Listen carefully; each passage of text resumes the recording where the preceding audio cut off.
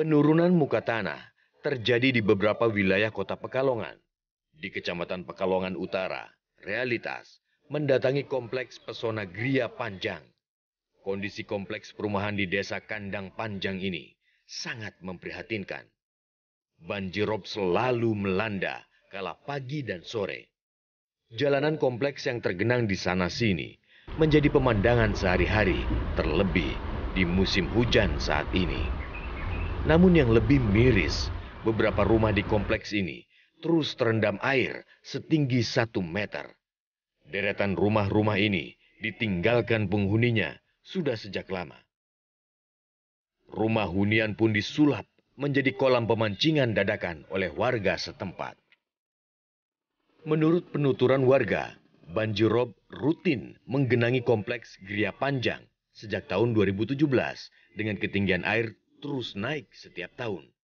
Padahal jarak kompleks ini dengan laut lumayan jauh, yaitu 3 km. Warga itu cuma merasakan kalau rasanya kok tanah itu kayak apa? uh, ambles gitu kok ya. Iya, iya. Kok ambles katanya gitu kok. Kemarin-kemarin rumah bisa kering yang kosong-kosong itu. Kok sekarang nggak bisa kering?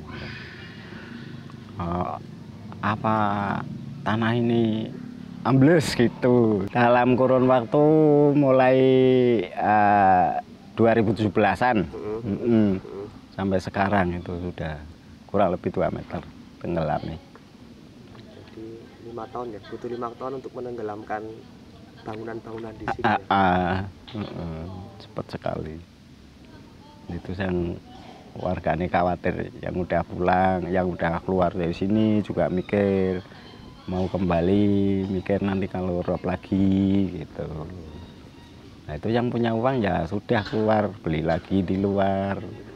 Nah, terus di sini ditinggal mau dijual tidak laku. Kalau ini pagar ini ya, Rikol ini Pak. Bisa dilihatnya apa ini Pak? Ini pagar udah tadinya kan pagar besi. Kompleks perumahan yang berdiri tahun 2001 ini dibangun 200 unit rumah. Namun sekarang hanya tersisa 45 rumah yang berpenghuni. Sebagian besar sisanya sudah ditinggalkan pemiliknya. Kalau umur biasanya berapa meter?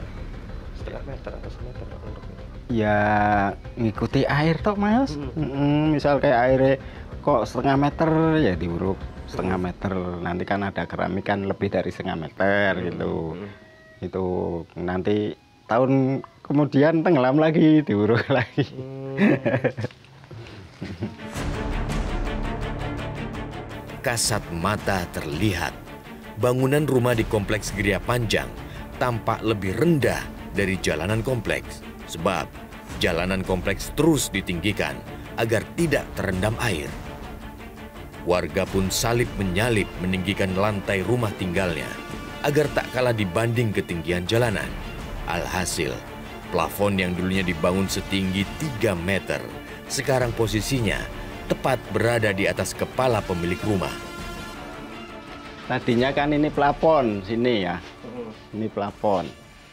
Nah, terus sini ditinggi ke kan otomatis nyundul. Iya. oh, ini langit-langit ya dulunya ya? Langit, langit ya, Pak ya? langit ya ini ya. Iya. Nah, itu hmm. sini. Jadi Bapak sudah udah udah naikin, naikin. tinggi berapa meter, Pak? Ini ya kurang lebih satu setengahan. Satu setengah meter ya rumah uh, ini ya? Uh, kurang lebih satu setengah. Ancaman banjir rob juga mengintai warga desa Pasir Sari di Kecamatan Pekalongan Barat. Seluruh pemukiman di RT 02 RW 03 di Kelurahan Pasir Sari terendam air dengan ketinggian rata-rata 30 cm.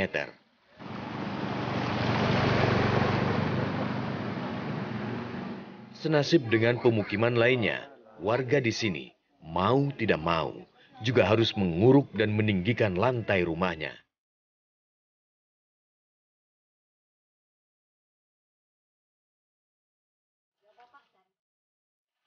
Faturi sudah 32 tahun menempati rumahnya di kawasan ini Ia mengaku sudah meninggikan lantai rumahnya hingga satu meter. Akibat bagian dalam rumah terus ditinggikan, jendela rumahnya jadi sejajar dengan dasar lantai.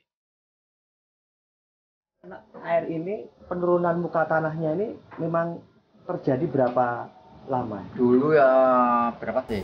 Tiga meter setengah tingginya. Tingginya 3 meter setengah. Iya. Sekarang? Sekarang tambah dua meter. Iya. Iya. Namun apa mau dikata, nyatanya banjir rob yang datang tak mau kalah. Ketinggian air rob selalu lebih tinggi dibanding ketinggian rumahnya. Tak pelak, air pun terus masuk ke rumah tanpa permisi.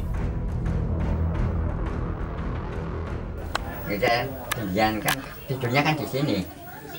Tapi kan ada airnya yang baru segini mas. Dulu. Oh, dulu malah sampai segitu. Waktu tahun depan kan. Lagi parah-parah juga ya, Pak. Yang udah. Tahun tahun tahun, tahun berapa loh?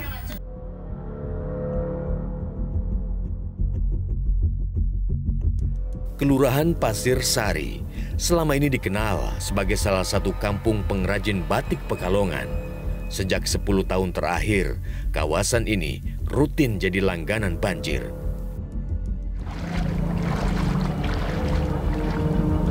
Tidak ada pilihan bagi warga setempat kecuali berdamai dengan alam. Meski banjir datang dan pergi, warganya memilih tetap tinggal di sini. Benarkah ancaman Pekalongan tenggelam sudah di depan mata?